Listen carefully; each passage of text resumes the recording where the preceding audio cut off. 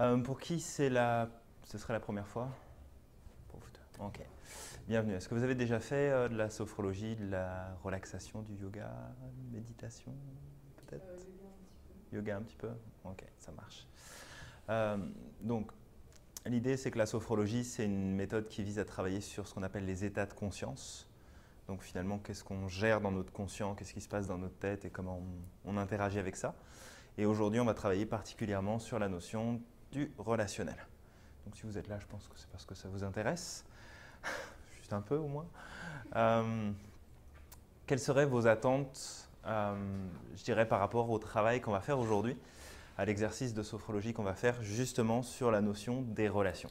Qu'est-ce que, sur quoi ça vient vous chercher? Améliorer la communication avec les autres. Ok, ouais, effectivement, ça va être un des points qu'on va, qu'on va aborder, qu'on va travailler.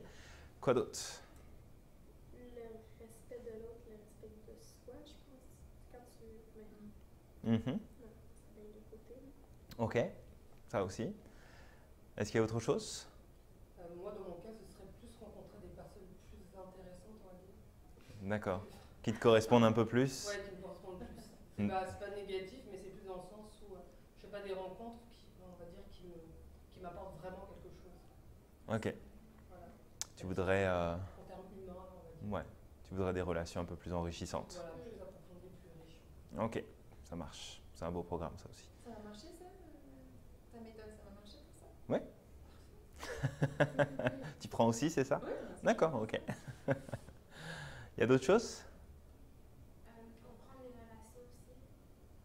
Ok. Euh, du sens, euh, comment on s'identifie aux relations, dans, dans une relation avec une autre personne. D'accord. Ok, ça marche. Une dernière chose peut-être? Un dernier point que vous voudriez voir euh, abordé en fait pendant cet exercice? Ouais.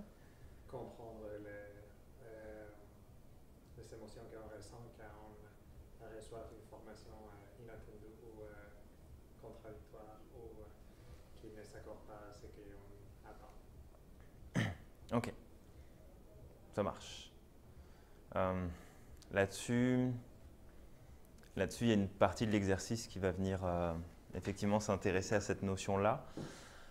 Euh, là où tu peux peut-être aller chercher un peu plus justement pour comprendre pourquoi tu ressens telle émotion dans telle situation alors que tu attendais autre chose. Euh, essaye de fouiller un peu plus dans tes besoins du moment. Tu avais besoin de quoi et pourquoi tu te sens comme ça alors que tu devrais te sentir différemment. En général, trouver ton besoin va expliquer l'émotion que tu es en train de vivre et te permettre de la dépasser et puis de la gérer plus facilement, surtout quand c'est négatif. Après, si c'est positif, tu profites et puis euh, c'est pas. On se demande pas trop pourquoi on se sent bien. On en profite en général.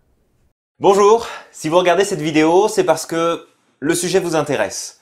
Ce que je vous propose, c'est de cliquer simplement sur le lien qui se trouve juste en dessous de cette vidéo et qui va vous permettre d'accéder à la page pour pouvoir regarder cette rediffusion. Vous aurez le choix de pouvoir accéder à cette seule rediffusion si vous le souhaitez, ou vous pourrez à ce moment-là, comme beaucoup d'autres personnes, bénéficier d'un accès beaucoup plus large en choisissant la meilleure option pour vous. Je vous retrouve de l'autre côté, merci pour votre attention et à tout de suite.